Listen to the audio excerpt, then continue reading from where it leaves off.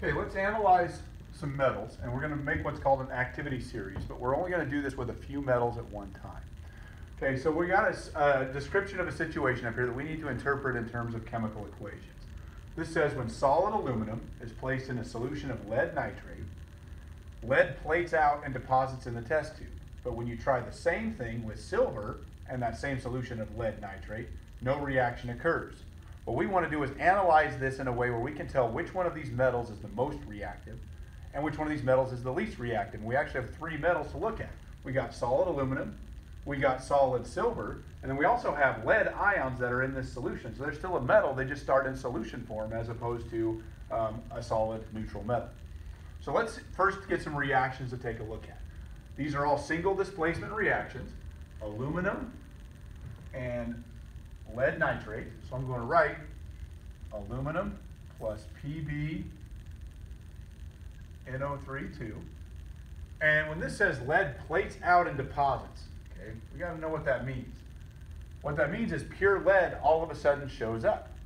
Okay, and we started out with lead dissolved as an, as an ion in this solution, then all of a sudden we put these together and we get solid lead coming out.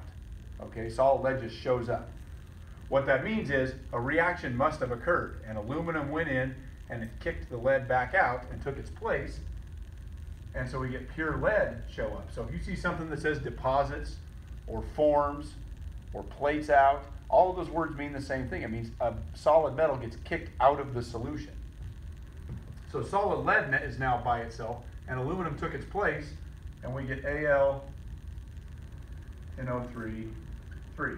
And yeah, we could go through and balance this. It's not terribly necessary in the analysis we're doing because we're not worried about amounts. But I'll go ahead and balance it just to make some of you feel better.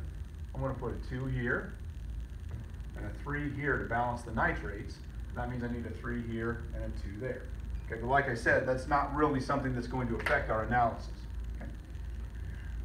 Now, let's take a look at the second situation. All right, the second situation says we try silver with the same thing, so silver put in a solution of lead nitrate. When we do that, we don't visibly see anything happen. So I'm going to write that. I'm going to write what happens. I'm going to describe it. Silver plus lead nitrate. And we don't see anything happen. So there's no reason to write a balanced equation for a reaction that we don't visibly see actually occur. So we're just going to say there's no reaction here. Now, what we have to do is take this and interpret what's going on in terms of which metal is most reactive and which metal is least reactive. So here's how you would, would analyze these. All right, if you were to take this first one, for example, aluminum, solid, pure, neutral aluminum, like aluminum foil, is placed into this solution, and all of a sudden a reaction happens. The way we would interpret that is aluminum must be more reactive than lead because it's driving the show. If this single metal by itself actually makes a reaction happen, and that means it was strong enough, it was reactive enough to go in and kick the lead out and take its place. So when you see a, a reaction actually occur, it means this solid metal was reactive enough to say, hey, I'm taking your spot, and it kicks the lead out, and that means aluminum is more reactive than lead. I'm going to write that over here. Aluminum is more reactive than lead. I'm just going to do a greater than sign, okay, like it's higher in reactivity. Now over here, we see silver try the same thing. Silver tries to go in and kick the lead out, but it can't. No reaction happens, which means lead is strong enough to just stay put. Okay? Lead is basically able to say, nope, I'm staying, staying right where I'm at. I'm not going to get kicked out of this solution. So silver is not strong enough to go in and boot the lead out. So what that tells us is silver is weaker. It's less reactive. So it means lead is more reactive than silver. So what this tells us is a reaction that happens tells us which one of these is stronger, but a reaction that doesn't happen gives us just as much information. If a reaction doesn't occur, it lets us know that the one that was dissolved in the solution must be the stronger metal. So you can learn just as much from a no reaction as you can from one that exists. But it's a process of elimination and just making a, a list of these like highest to lowest. So when I look at these, I would say aluminum is the most reactive metal out of all these. Okay?